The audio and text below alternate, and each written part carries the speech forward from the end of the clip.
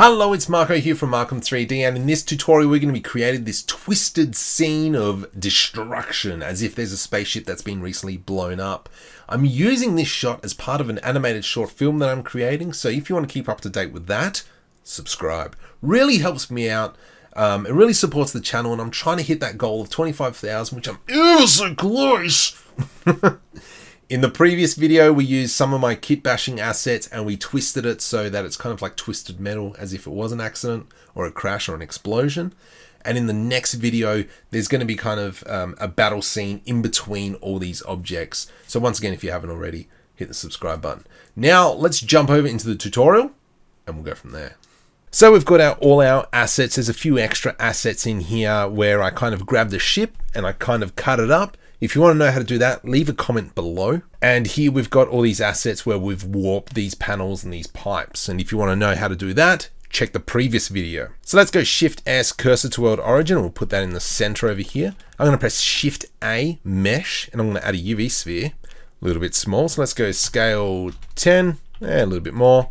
Rotate on the Y axis 90 degrees. Scale Y, sorry, scale X to kind of like elongate that. And then I press Control A to apply the scale. From here, we need to go ahead and make a particle effect. So let's select on particles, press the plus sign. I want to spawn the particles all at the same time. So frame one start and frame one end, enter. A thousand particles, probably let's bring it down to 200, then we can increase it later. Lifetime, I'm just going to make this 5,000 or 50,000, and these particles will stay around for 50,000 frames. So we can see what we're actually doing. We need to come into the object display here into instancing and where it says show instancer, we're going to change that to, well, sorry, untick viewport. Wham bam, thank you man. We can see all our little bitty bitty pieces. Now the th next thing I want to do is I want to use all those other pieces. So if we have a look over here, this is sitting in Greeble Kai. So let's select our sphere again, come over into the particle settings, plus sign to create a new particle system. Um, the previous particle system is 001, so let's go back and select 001, but I'm going to duplicate this because it's got all our settings that we need.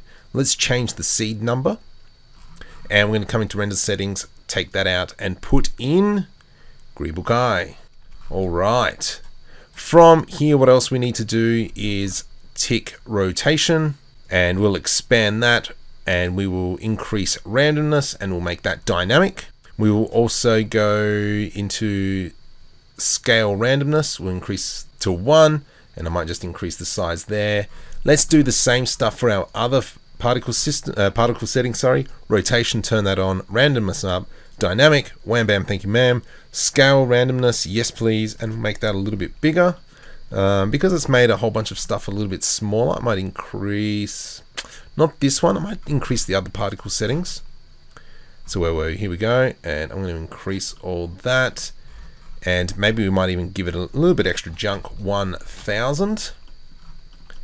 And so if you have a look, we've got all this junked pieces all in here. Now, if I go to render settings, I've already created the world material. There we go. So we can see our field of stars. We don't have a sun. So I'm going to press Shift A. Let's add in a light. Let's go sun. Let's rotate that around. G, bring that over there. And you can just see kind of like how cool this star field is. Obviously these pieces are really big. And if I were to press play, everything falls to the ground. That is not what we want. So at frame one, everything spawns. Let's select our sphere, go back into the particle settings, and we're going to go into field weights, turn the gravity down, select our other particle system, system sorry, gravity down. So when we press play, they kind of all drift apart. That's not what we want. So let's go into velocity because it's spawning with a velocity of 1. Let's change that to 0 and we'll do that for the other particle settings. So now we free press play. Nothing happens. You little ripper, that's what we're after. From here, what I'm going to do is I want to make some sort of movement. So I'm going to press Shift A and let's create a force field and we will make a vortex. And if I kind of scale that up, and if we were to press play, you can see that everything kind of spins around. That's not the way I want it to spin. I actually want it to spin on the y-axis like that. So let's go back to the start. So that's the way I kind of want it to spin. Um, if we go into the force field settings, size, sorry, that's the wrong one. This one here is the physics tab. Flow, oh, maybe 0.05. So let's go to the start. How's that looking? Ever so slightly. That might even too much. 0.02. You little ripper. Nice. Okay. But let's give it some extra love as well. So I'm going to do Shift A, add a force field, and we are going to add in a turbulence.